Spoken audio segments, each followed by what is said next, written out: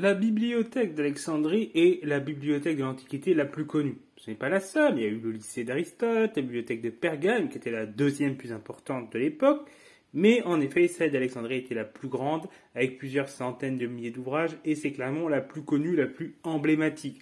Souvent, lorsqu'on demande de citer une bibliothèque de l'Antiquité, on pense à elle par sa taille par l'influence qu'elle a eue sur les autres bibliothèques, par le rayonnement de la ville d'Alexandrie. Celle-ci a été créée par Ptolémée, qui était du coup un des généraux d'Alexandre le Grand, qui s'est retrouvé à la tête de l'Égypte, de l'Égypte antique, après la mort de euh, l'empereur ben, d'Alexandre le Grand.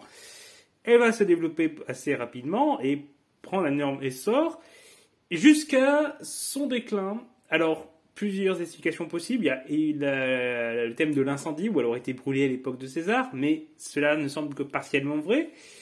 Et il est possible qu'il y ait eu plusieurs évolutions par la suite, en fait, à la fois une diminution de ses moyens financiers, le fait que l'endroit où elle se trouve soit aujourd'hui sous les eaux, qui a pu faire que, ben, en bougeant, elle soit retrouvée, enfin, avec le mouvement de, des sols, elle soit retrouvée progressivement submergée, ce qui, et qu'avec la diminution de moyens, son déplacement s'avérait difficile.